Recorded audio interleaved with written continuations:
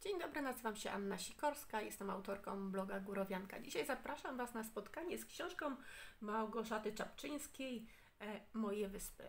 E, Moje Wyspy to jest e, publikacja dość nietypowa, ponieważ no, ja oczekiwałam takiej troszeczkę bardziej no, większego podejścia takiego do biografii tendencyjnego, czyli dłuższych biografii, e, napisane zupełnie, napisanych zupełnie innym stylu.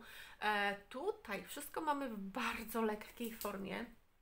E, do tego e, każda, na każdej stronie e, są zdjęcia e, i króciutkie wpisy. Krótkie, dłuższe wpisy w zależności od tego, na co akurat trafimy. Czasami są to mm, dłuższe biografie, a czasami właśnie takie, o, takie malutkie wpisy y, informujące o czymś, y, o różnorodnych zjawiskach, tak samo jak tutaj.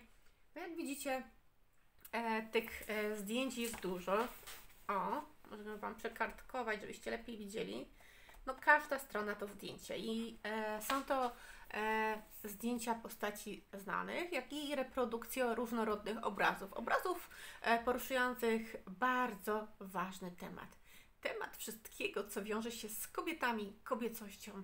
E, I e, dzięki temu spojrzeniu na tę kobiecość możemy prześledzić, w jaki sposób przez no, 100 lat zmieniało się podejście e, do naszej płci jak my zmieniałyśmy też podejście, z jakimi ograniczeniami musiałyśmy się borykać, z jakimi wyzwaniami, e, co pomagało nam w codziennej walce, w jaki sposób e, znane artystki były w stanie przetrwać na trudnym polu rywalizacji z mężczyznami.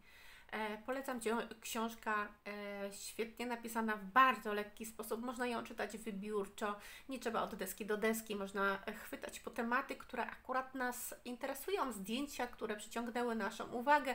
E, do tego solidna oprawa, bardzo dobrze zszyte strony E, i spora dawka informacji, ale też i humoru, e, ponieważ autorka e, za każdym razem, kiedy pojawia się ilustracja, jakaś zdjęcie, życiorys, to pojawia się też scenka humorystyczna, czasami będąca rozmówką damsko-damską, czasami męsko-męską, czasami damsko-męską.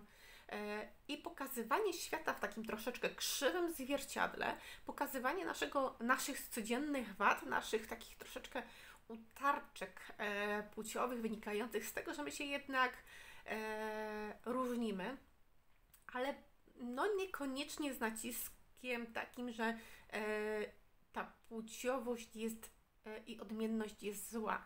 Raczej takim przymrużeniem oka na różnorodne stereotypy. Polecam i do zobaczenia.